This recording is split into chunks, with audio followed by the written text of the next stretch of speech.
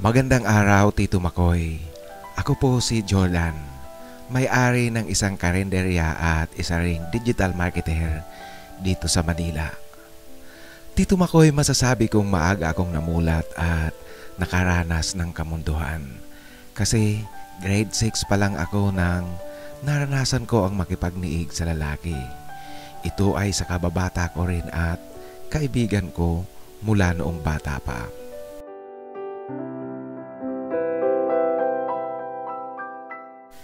Tito Makoy, masasabi ko na medyo may kaunting kasaganaan ang buhay namin. Mula noong bata pa ako, dalawa ang bahay namin. Isa sa barangay namin kung saan ako lumaki at ang pangalawa ay sa lungsod na siyang capital city ng aming probinsya. May negosyo kasing tindahan ang mga magulang ko sa lungsod, kaya dito sila namamalagi. Kaya naman nagpasya silang bumili ng lupa at magpatayo ng bahay sa lungsod. At nang matapos ang bahay, meron na kaming permanenteng tirahan sa lungsod. Sa lungsod na rin nanirahan ang mga kapatid ko at lumipat na rin sila ng paaralan kasama ang mga magulang ko. Sa aming pamilya, Tito Makoy, ako ang naiwan sa amin at nakatira sa aming bahay dito sa bayan, sa barangay. Kasama ko ang auntie ko na matandang dalaga. Isa siyang guro nagtuturo sa mababang paaralan kung saan din ako nag-aaral ng elementarya.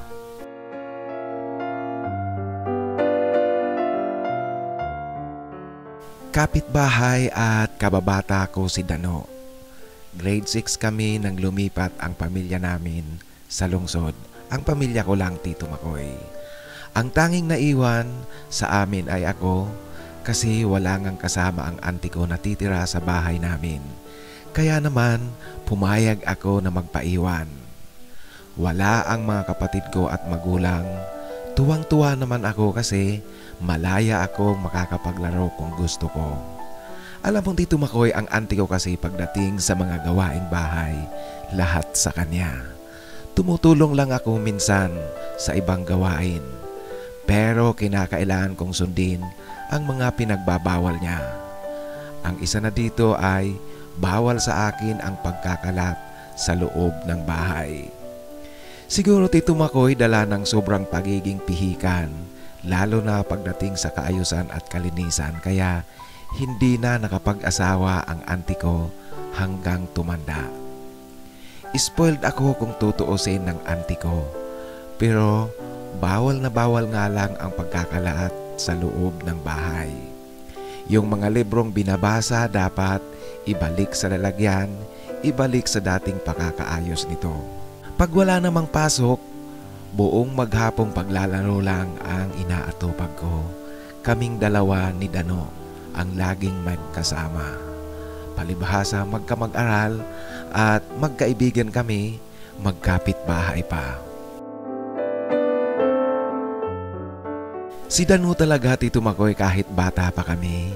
Madalas siyang napapalo ng guro namin sa paaralan. Dahil kasi sa dumi ng kanyang dila kung magsalita. Lalo na ang pagmumura at maging ang mga salitang sexual. Bata pa kami, malawak na ang kanyang imahinasyon sa gawain ng mga matatanda, gawain ng mag-asawa. Sanay ako sa pananalita niya maging ang pagmumura kasi kaibigan ko at kasama ko araw-araw. Tapos Tito Makoy, hindi gaanong estrekto ang mga magulang niya. Kaya hinahayaan lang si Dano kung saan pumunta at maging pagtulog sa gabi, hinahayaan nila ito na hindi sa kanilang bahay matulog. Kaya naman madalas sa bahay namin siya natutulog kasama ko.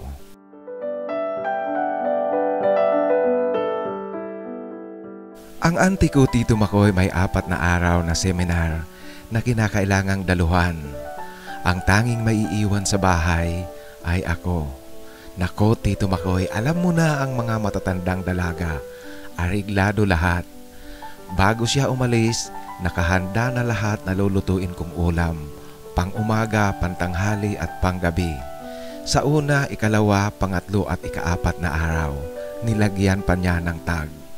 Maging ang merenda ko, nakahanda na rin. Unang araw ay biko. Ikalawa, suman. Ikatlo ay sumang kamuting kahoy at ang pang-apat na araw, pinagbili niya sa kapitbahay namin na bigyan ako ng meriendang maroya. Parang scripted Tito Makoy ang pagkain sa buong apat na araw na wala siya. Kaming magkakapatid Tito Makoy, maagang natutong magluto kasi ito ang unang seryosong bagay na itinuturo sa amin ng aming mga magulang.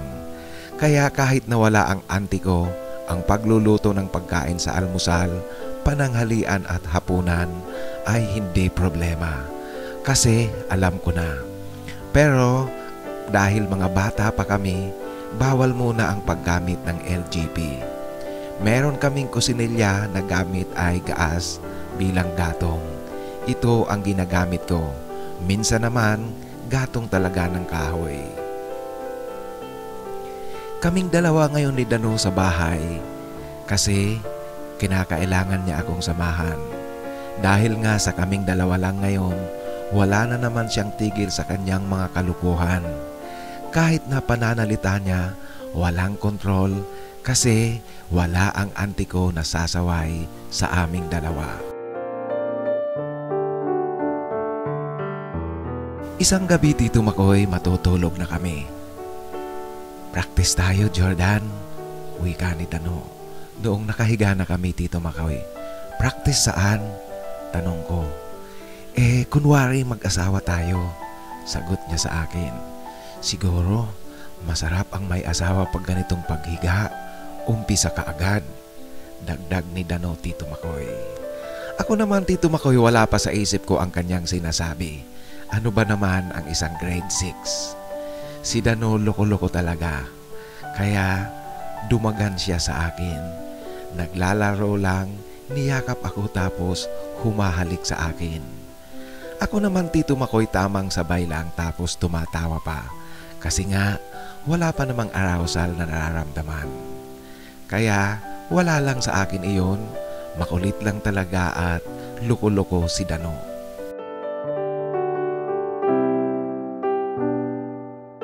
Mula noon Tito Makoy, nakagawian niya ng dumagan sa akin tuwing pagtulog namin. Palagi niya nang ginagawa iyon. Sa una sa akin parang wala lang. Pero noong lumalaon na ay parang seryoso na rin si Dano. Kasi pati ang yakap niya ay humihigpit na rin. Dala na siguro Tito Makoy sa kapapanood ng TV at pakikinig ng mga drama sa radyo. Kaya ginagawa niya lahat ang mga nai-imagine niya na mga eksena na kanyang napapanood at naririnig. Sa mga huling araw, ako rin napansin ko na nagugustuhan ko na ang pagyakap niya sa akin at ang pagyakap ko sa kanya. May pahaplos-haplos na rin ito sa kanyang katawan. At pareho pa rin kami nakadamit Tito Makoy. Hindi lang kami nag-iingay pag nasa bahay si Auntie. Hanggang isang gabi, nagsabayan talaga kami ni Dano Tito Makoy. Ewan ko Tito Makoy para akong nakuryente ang aking katawan sa ginagawa ni Dano. Sinubukan na naming maghubad at tinuluyan na ni Dano.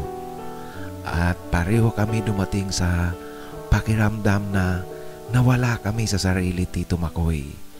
Nakukuryente ang aming pakiramdam at parang hindi namin alam ang aming mga kinikilos. Natakot kami pareho Tito Makoy sa aming naramdaman na iyon sa unang pagkakataon. Pero yung mga sumusunod na hindi na kami natatakot. Nagugustuhan na namin at gustong gusto na naming dumarating sa puntong iyon. Kaya naman si Dano madalas nang natutulog sa bahay. Sa murang edad namin ay may ginagawa na kami gabi-gabi sa aming higaan.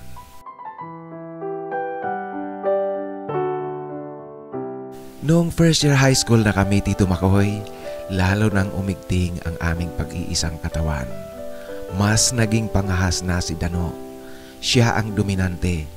Palibhasa siguro umpisa ito ng pagsibol ng pagbabago sa aming katawan. Nagbibinata na mula sa pagkabata. Halos magdamag kaming nagniniig pag nasa bahay si Dano natutulog, Tito Makoy.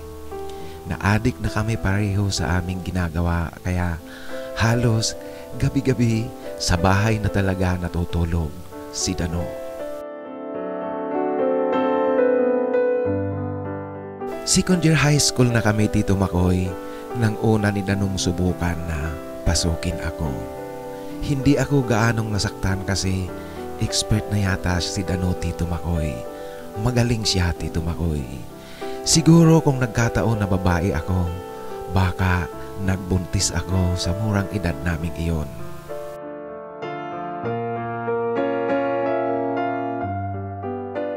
Noong fourth year na kami, Tito Makoy, napansin ko na medyo paunti-unting dumadalang ang pagpunta ni Dano sa bahay. Madalas kung Sabado at Linggo ay meron siyang pinupuntahan. Medyo nagsisilos na ako Tito Makoy kasi baka meron na siyang nililigawang babae. Kung magkataon, matatapos na ang aming ginagawa gabi-gabi. Malungkot ako Tito Makoy kasi nararamdaman ko na at nabubuo na ang pagmamahal na nararamdaman ko para kay Dano. Pero Tito Makoy kung nagkakataon namang nasa bahay siya natutulog, bumabawi siya talaga Talagang pinapasaya niya ako sa kanyang ginagawa na nagdudulot din ng malaking kasiyahan sa aking pakiramdam. Minsan isang gabi pumunta siya sa bahay, may mga daladalang printed leaflets. Tapos may mga naka-imprintang logo ng komunista, ang logo ng mga rebelde na nakikita ko sa kanilang mga propagandang papel na nagkalat sa kalsada minsan. Tano, ano ang mga ito? Tanong ko sa kanya, Tito Makoy. Huwag kang maingay, Jordan. Sagot niya sa akin, Tito Makoy. Ano nga ito? Bakit meron ka nito? Pangungulit ko, Tito Makoy. Jordan, sikreto ito. Umaattend ako sa mga meeting ng League of Filipino Students. Ang dami palang kalokohan ng gobyerno natin dapat itong masawata. Sagot niya sa akin, Tito Makoy. Ano? Baliw ka na ba? Alam mo ba yung pinapasok mo? Tanong ko sa kanya, Tito Makoy. Oo, alam ko at para sa ating lahat ito, kailangang lumaban tayo para hindi tayo basta na lang tinatapakan ng mga nasa gobyerno. Wika niya Tito Makoy sa akin. Wari ko Tito Makoy medyo malalim na ng kaunti ang pagkakabrainwash sa kanya ng mga makakaliwang grupo.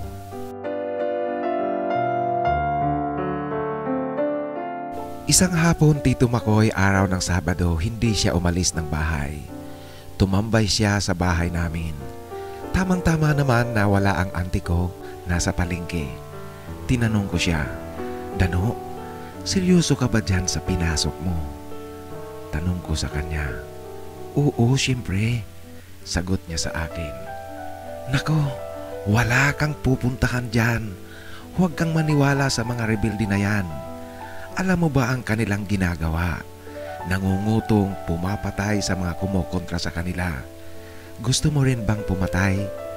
Tanong ko sa kanya, Tito Makoy. Jordan, hindi porkit sasama ako dyan, papatay na ako ng tao. Sagot niya sa akin. Alam mo, Dano, tatapatin kita. Lahat na pumapasok dyan, handang pumatay.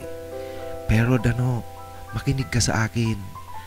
Sa gabi-gabing pagniniig natin, mahal na kita. Hinahanap na kitang palagi.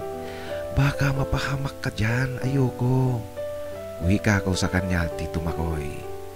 Matapos kong sabihin iyon sa kanya, Tito Makoy, umakbay siya sa akin at humalik. Sa tingin mo ba, Jordan, hindi kita mahal? Mahal na mahal rin kita. Sagot niya sa akin.